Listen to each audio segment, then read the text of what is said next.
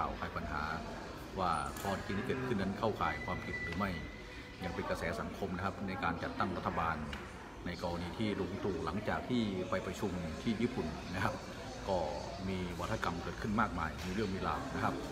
สำหรับฝากฝั่งแกนนำจัดตั้งรัฐบาล โดยเฉพาะพรรคพลังประชารัฐก็ยังไม่มียุตินะครับว่าตำแหน่งรัฐบาลที่มีการจัดสรรไว้นั้นจะให้บุคคลใดมาดำรงตำแหน่ง ก็ยังมีการถกเถียง แล้วมีการออกแถลงข่าวออกมามากมายนะครับ วันนี้ฝากฝั่งออดีตประธานนะครับยุทธศาสตร์พรรคชาติรักษาชาตินะครับจรุงฉายแสงก็ออกมาอัดนักการเมืองบอกว่าไร้ศักดิ์ศรี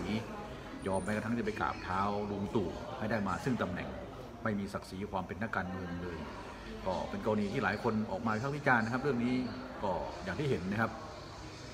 นักการเมืองคือนักแสวงหาอำนาจอำนาจที่ยิ่งใหญ่ก็คืออำนาจของประเทศเห็นไหมครับ ทุกคนก็แสวงหาอำนาจทั้งนั้น วันนี้ก็มีการถกเถียงมากมายว่ารัฐบาลจะมีการจัดตั้งเสร็จสิ้นเมื่อไหร่ยังไง ก็ยังเฝ้ารอเฝ้าดูอยู่นะครับ ผมเองก็ศึกษานะครับว่าความเป็นไปนักการเมืองที่ผ่านมาก็เข้าใจนะครับว่าการเมืองเป็นเรื่องของประโยชน์ของพรรคพวกและกลุ่มก้อน ถ้าหากไม่มีประโยชน์ นักการเมืองก็เข้าไปไม่เข้าไปทำนะครับ เรื่องชาติบ้านเมืองก็เป็นอีกเรื่องหนึ่งก็ยังเห็นพี่น้องประชาชนนะครับเฝ้ารอคอยต้องการรัฐบาลที่มีความเสถียรภาพ มีเอกภาพในการที่จะพัฒนาชาติไทยต่อไป ยังเป็นประเด็นสำคัญประเด็นที่หลายคนสนใจอย่างมากนะครับฝากฝั่งลุงตู่นะฮะในฐานะนายกรัฐมนตรีที่ผ่านการโหวตของสองสภาไปแล้ว ก็อยู่ระหว่างในการคัดรายชื่อนะครับ เพื่อนำทูลเก้า ต่อพระบาทสมเด็จพระเจ้าอยู่หัวเพื่อโปรดเกล้าแต่งตั้ง คณะรัฐมนตรี หลังจากนั้นก็แถลงนโยบายต่อรัฐสภาความสมบูรณ์ก็จะสิ้นสุดลงทันทีนะครับหลายคนบอกว่าแล้วกรณีดังกล่าวนั้นจะมีใครยังไงเข้ามาเป็นรัฐมนตรีบ้างแน่นอนครับ จากจำนวนที่ส่งรายชื่อเข้ามาของพรรครัฐบาลก็มี 10 กว่าตำแหน่ง มี 40 กว่าคนนะครับ แต่ตำแหน่งมันมีน้อยนะฮะก็ได้แค่ 36ตำแหน่ง บางคนอาจจะผิดหวัง บางคนก็สมหวัง แต่หลักๆวันนี้ที่คุณจตุรงค์ฉายแสงนะครับ อดีตประธานยุทธศาสตร์พรรคไทยรักษาชาติออกมาวิพากษ์วิจารณ์นะครับ นักการเมืองกล้าที่จะก้มกราบแทบเท้าลุงตู่ให้ได้มาซึ่งตำแหน่งนักการเมืองว่าไรศักดิ์ศรีนะครับ มันก็หลายมุมมองนะครับก็ธรรมดาครับนักการเมืองก็ต้องการเข้าไปมีผลประโยชน์ เข้าไปมีอำนาจในรัฐบาล ถ้าหากไม่ต้องการจะมีอำนาจก็คงไม่มาเล่นการเมือง นักการเมืองคือนักแสวงหาอำนาจอำนาจที่ยิ่งใหญ่ก็คืออำนาจปกครองประเทศเห็นไหมครับ นักการเมืองแต่ละคนนี้เข้ามาทางการเมืองก็ต้องการที่จะมีอำนาจ ดังนั้นจะได้อำนาจหรือไม่อย่างไรนั้นก็เป็นกรณีที่พี่น้องประชาชนมอบให้ วันนี้ชัดเจนชัดแจ้งครับ คุณจตุรงฉายแสงออกมาอัดอย่างรุนแรงนะครับ ส่วนบุคคลที่ออกมาแถลงข่าวบอกว่ายอมที่จะก้มกราบแทบเท้าลุงตู่นั้นก็เป็นเรื่องของบุคคลนะครับ พี่น้องประชาชนจะมองอย่างไงนั้น ก็เป็นสิทธิ์ของพี่น้องประชาชนแน่นอนครับนักการเมืองแต่ละฝากฝั่งก็ต้องมีการโจมตีซึ่งกันและกัน ทั้งพฤติกรรมส่วนตัวและพฤติกรรมโดยภาพรวม เรื่องนี้ก็หลายคนก็บอกว่าจะต้องศึกษาให้ดีนะครับ ส่วนจะเป็นกรณีไหนยังไงนั้น ก็ให้พี่น้องประชาชนติดตามเอาเอง เรื่องที่เกิดขึ้นก็แสดงถึงวุฒิภาวะของนักการเมืองนะครับ การที่ออกมาแถลงและบอกว่ายินยอมแม้กระทั่งที่จะ ก้มกราบแทบเท้าลุงตู่มันก็เป็นคำพูด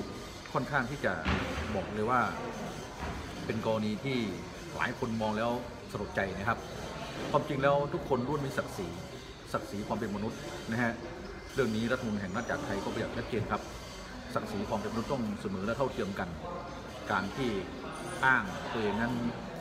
มีอำนาจเบียดสิทธิ์เด็ดขาด มันก็เป็นเรื่องของการเมืองวันนี้หลายคนก็เฝ้าติดตามนะครับ ส่วนการที่คุณจตุรนฉายแสงออกมาพูด แล้วก็อัดแล้วก็แฉนักการเมือง แน่นอนครับ นักการเมืองมีสองฝากฝั่งฝั่งฝ่ายค้านกับฝั่งรัฐบาล ตัวผมเองก็นำเสนอเล่าข่าวทั้งฝ่ายค้านและฝ่ายรัฐบาล และก็ทุกฝ่ายและข่าวสังคมทั่วไปนะครับ ว่ากรณีดังกล่าวนั้นเหมาะสมหรือไม่อย่างไรกรณีดังกล่าวนั้นก็เห็นชัดเจนว่านักการเมืองต้องการนะครับตำแหน่งฮะรัฐมนตรีแน่นอนจะได้หรือไม่นั้นก็ขึ้นอยู่กับลุงตู่ของเรา ส่วนการเมืองจะเดินหน้าไปได้หรือไม่นั้นนะครับแน่นอนครับวันนี้หลังจากที่ลุงตู่กลับมาจากการประชุม G20 นะครับ ก็แถลงชัดเจนเลยว่าพักผ่อนวันนี้คงเข้าที่ทำเนียบรัฐบาลห้องทำงานก็คงจะคัดรายชื่ออบุคคลต่างๆ ที่แต่ละพักรัฐบาลส่งมานะครับ ว่าจะแต่งตั้งใครไปดำตำแหน่งในส่วนโคต้ากระทรวงไหน ก็ยังถกเถียงกันนะครับ ระหว่างคุณสุริยะจึงรุ่งเรืองกิจ ที่คาดหวังว่าจะต้องไปนั่งในกระทรวงพลังงาน ได้ข่าวว่าจะมีการโยกย้ายคุณสุริยะจึงรุ่งกิจไปนั่งในกระทรวงอุตสาหกรรมนะครับ ก็เกิดแสดงอาการไม่พอใจในเบื้องต้นนะครับ หลังจากนั้นก็มีการสยบข่าวว่าขึ้นอยู่กับนายกรัฐมนตรีประยุทธ์จันทร์โอชาภาคฝั่งฝ่ายค้านนะครับเจ็ดพักก็รวมตัวกันที่จะซักฟอกรัฐบาลทันที หลังจากมีการจัดตั้งรัฐบาลเสร็จสิ้น เรื่องนี้ก็เป็นกรณีที่หลายคนมองว่า การปฏิรูปการเมืองจะเดินหน้าไปได้หรือไม่อย่างไรนั้น ก็ขึ้นอยู่กับนักการเมืองและทุกๆคน การปฏิรูปคืออะไรครับ ก็คือการเปลี่ยนแปลงค่านิยมเก่าๆที่ไม่ดีให้ดีขึ้น แน่นอนครับค่านิยมเก่าๆที่เป็นมา ตั้งแต่มีการเปลี่ยนแปลงปฏิวัติสยามมา 2475 เห็นไหมฮะมีการรัฐประหาร 13 ครั้ง มีการฉีกรัฐธรรมนูญนะฮะหลายครั้งก็มีการยกร่าง ปรับแก้ไขมามากต่อมากมายนะครับ แต่ก็ยังอยู่ที่เดิม หลายคนคาดหวังต้องการให้การเมืองนั้นเดินหน้าไปได้ ส่วนการเมืองจะเดินหน้าไปทิศทางใดนั้น มันขึ้นอยู่กับองค์ประกอบหลายองค์ประกอบนะครับวันนี้ต้องยอมรับนะครับว่าเสียงปิ่มน้ำของภาคฝั่งรัฐบาลนั้นก็อันตรายเช่นเดียวกัน แต่ถ้าหากในกลุ่มพรรคร่วมรัฐบาลนะครับ ไม่ตีรวนกันเอง ไม่แสดงวัฒกรรม หรือว่าขัดแย้งเรื่องผลประโยชน์ภายในพรรครัฐบาล ก็สามารถที่จะบริหารให้ครบ 4 ปีได้ ส่วนจะเดินหน้าไปทิศทางใดนั้น มันก็ขึ้นอยู่กับพรรคร่วมรัฐบาลนะครับ วันนี้ถ้าหากยังแข่งแย่ง และชิงแย่งแข่งอำนาจ เกี่ยวกับการบริหารกระทรวงทบวงกรมกันอยู่ ก็เป็นเรื่องที่ลำบากใจเช่นเดียวกัน พี่น้องประชาชนคนไทยก็คาดหวังนะครับ ต้องการให้รัฐบาลนี้มีเสถียรภาพ และก็เดินหน้าต่อไป เพราะว่าอยู่ในภาวะเศรษฐกิจที่ย่ำแย่ ก็ต้องการรัฐบาลที่มีเสถียรภาพ พี่น้องครับบ้านเมืองเรายังถกเถียงกันเรื่องของรัฐธรรมนูญถกเถียงกันเรื่องของอการนั่งบริหารตำแหน่งต่างๆ แต่เพื่อนบ้านข้างเคียงเรานะครับ ไม่ว่าเขมรกัมพูชานะครับ ไม่ว่าเวียดนามเนี่ยการเมืองเขานิ่งสงบเห็นไหมครับ การพัฒนาประเทศเขาเนี่ยมันไปรุกหน้ามากกว่าเรา ดังนั้นผมบอกเลยว่าไม่เกินอีก2-3ปี พี่น้องเราไปเที่ยวที่เวียดนามเราไปเที่ยวที่กัมพูชานะครับ ผมมั่นใจได้ว่าการพัฒนาทางการเมืองและพัฒนาประเทศเขาเนี่ย จะเดินหน้าไปมากกว่าบ้านเรา บ้านเราพัฒนาไปแต่พัฒนาจิตคนจิตใจคนไม่ได้ครับ ยังมาอยู่ที่เดิมยังมาทะเลาะกันทางการเมืองยังแบ่งพรรคแบ่งฝ่าย และกติกาที่สร้างขึ้นก็ไม่เป็นสากลก็ทะเลาะกันไม่หยุดไม่สิ้นนะมีการตรวจสอบกันสสสววุ่นวายกันในหมดนะครับก็ทำให้เกิดความวุ่นวายในทางการเมือง ก็ไม่มีเวลาในการที่จะไปคิดและก็สร้างสรรค์ในการพัฒนาประเทศ ดังนั้น การเมืองจะเดินหน้าไปทิศทางใดนั้น ก็ขึ้นอยู่กับพี่น้องประชาชนคนไทยด้วยกันทั้งหมดนะครับ หลักๆก็คือตัวที่นักการเมือง 500 คน และก็สว250 คนที่มีการคัดเลือกไปแล้ว มีจรรยาบรรณและมีจิตสำนึกเพียงใดในการที่จะทำให้บ้านเมืองสงบถ้าหากยังเล่นการเมืองโดยการใส่ร้ายป้ายสีหรือว่าขุดลากถอนโคนเรื่องไม่ดีกันมาใส่ร้ายป้ายสีกัน ทุกวันนี้มันก็อย่างที่เห็นนะครับ มีการเลือกตั้งแต่วันที่ 24 มีนา 2562 ณ วันนี้ 2-3 เดือนที่ผ่านมานะครับ ยังไม่สายังไม่สามารถจัดตั้งรัฐบาลได้ และเป็นประวัติศาสตร์ในรอบการเลือกตั้งที่ผ่านมาหลังจากมีการยึดอำนาจนะครับ ส่วนมากก็ไม่เกินเดือนหรือเดือนครึ่งก็จัดตั้งรัฐบาลได้แล้ว แต่คราวนี้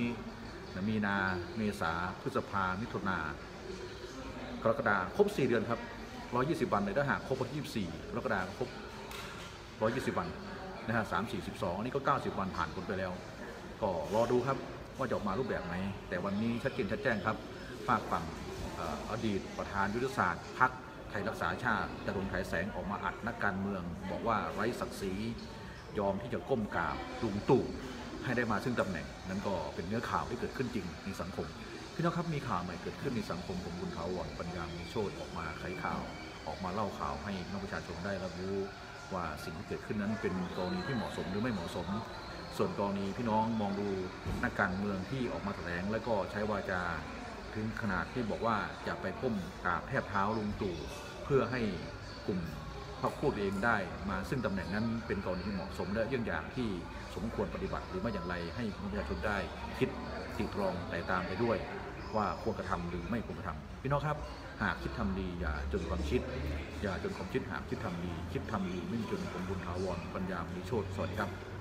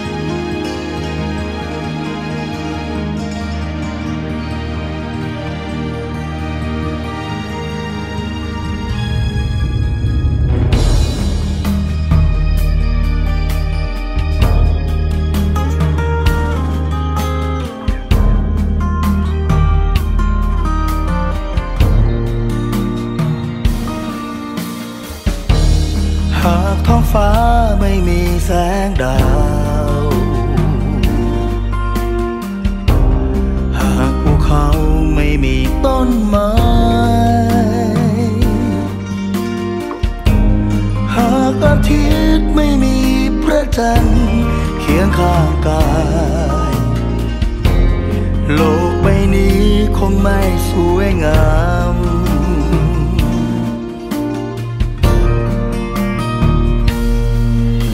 ที่ฟ้านั้นดูสดใสสว่าง เพราะฟ้ายังมีดวงดาว อาทิตย์ทรงโปรดสาดแสงพร่างพรางค่ำคืนยังมีพระจันทร์พระราชินีที่อยู่คู่ฟ้า ราชาของแผ่นดินไทย พระบารมีที่ควรผู้ใจทอแสงประกายงดงา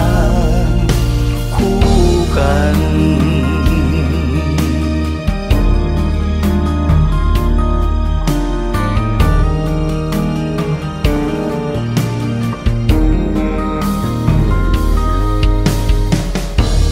เมื่อท้องฟ้ายังมี